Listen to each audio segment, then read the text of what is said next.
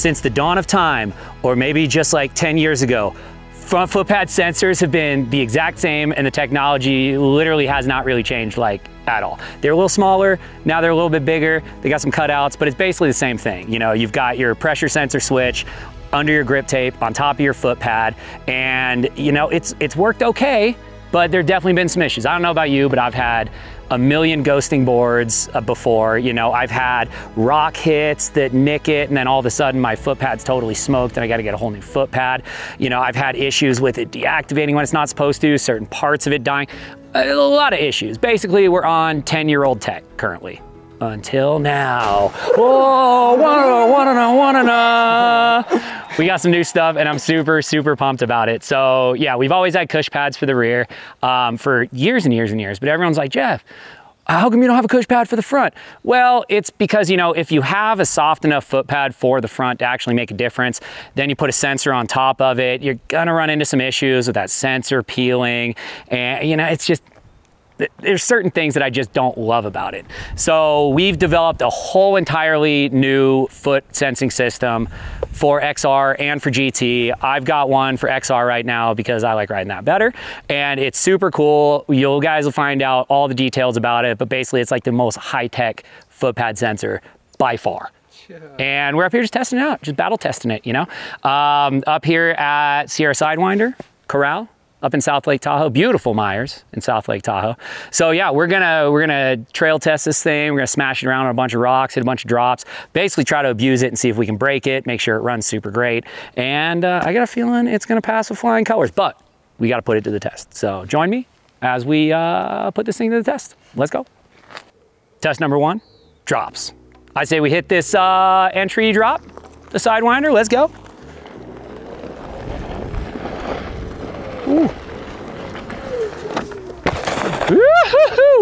Uh, I would say that's pretty solid right there. Oh, and I know we got a nice little spicy bonk coming up right here. Let's get the bonkers. Woo! Could have hit that one better, but that's all good. Next time. Uphill bonk. Oop. I mean, I can tell you, like, right out the gate, this foot pad is so freaking comfortable. I mean, from just that first bonk right there, one complaint that I've always had with Onewheel front foot pads, it's just like every time I hit a drop, like a big enough drop, my front foot comes off the front foot pad just a little bit often. And then as soon as I hit the ground, just whoop-ah, just slaps into the bottom of my foot.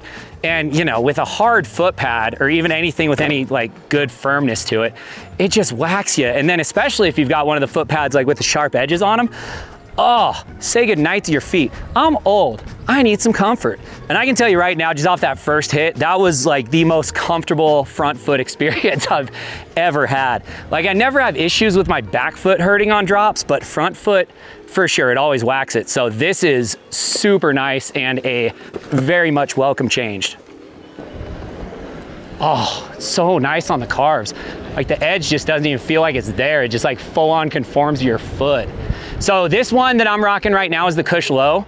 Um, obviously, we're also gonna have a Kush Wide version, but you know, I'm a, I'm a low boy myself. I got, I got size, uh, size 10 feet, so I don't think I really need to utilize the wide as much. Ooh, check this nudge. Oh, right up, no problem. I cheated though, I got the remote. What are you gonna do? All right, Elijah's gonna go ahead. I'm gonna blindly hit this big old monster kicker right here. This is probably my favorite hit on the whole entire mountain. I hope it hasn't changed since last time. Ooh, look at that, just gorgeous. And speed is absolutely your friend on this one. So this is kind of like the faster the better type scenario. Oh, oh, it's so good.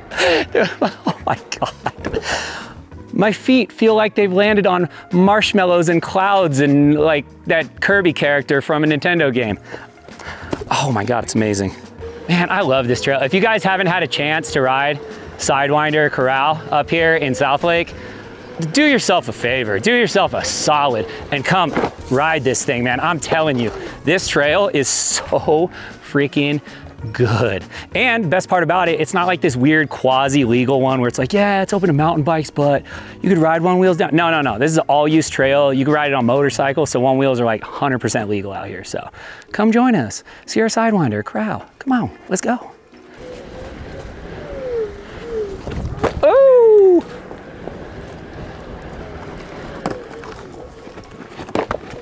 Dude, right there is where I got so wrecked riding Austin's board that one time. That six and a half inch hub just high side rolled me so bad.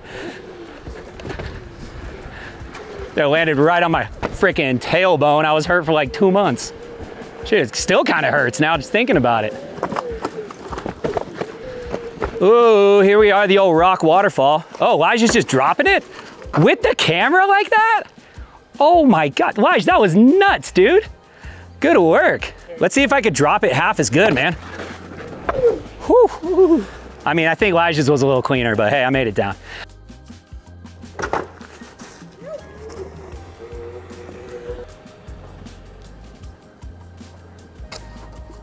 Yo!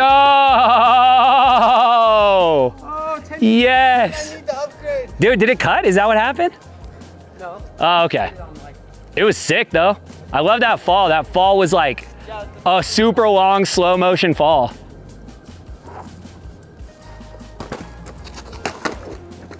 Yeah. It's just don't fall. It's fine.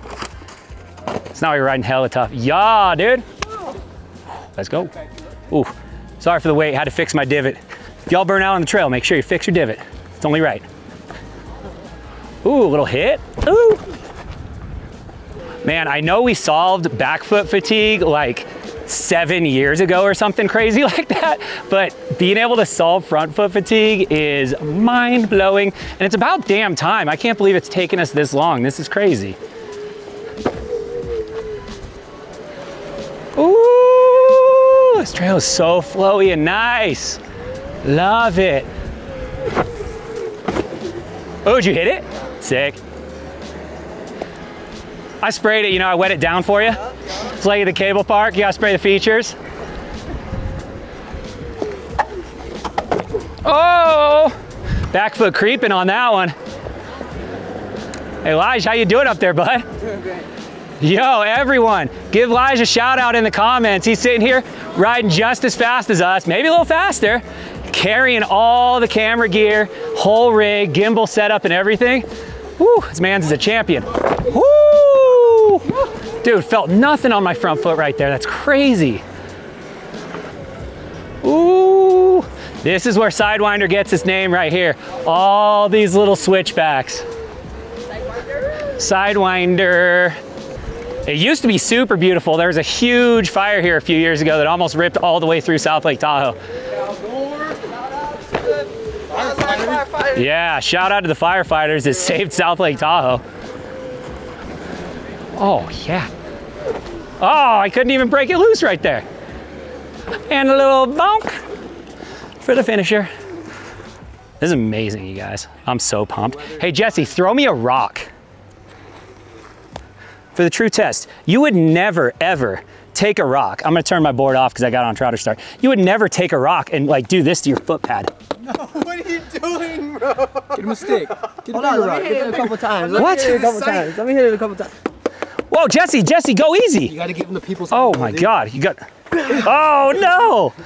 But you know what? We turn it on and guess what? The thing's gonna be working flawlessly, flawlessly. And guess what? I'll jump off, no fear of ghosting at all. It's crazy. So we fixed it.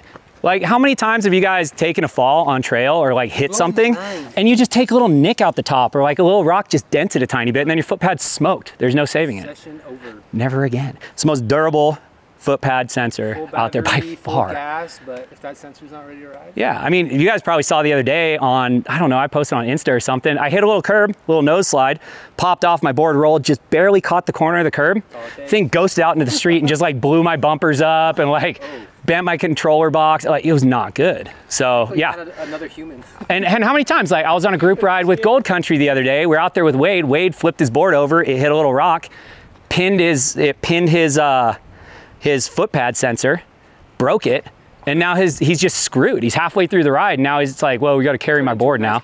So he had to take his board apart, unplug the foot pad, turn it on, then plug the foot pad back in so it's hot, it's live. What Yeah, because it's pinned on. MacGyver ready for that even. Yeah, I've just I've seen it happen way too many times. So anyway, get yourself very durable foot pad. I'm so stoked on these things.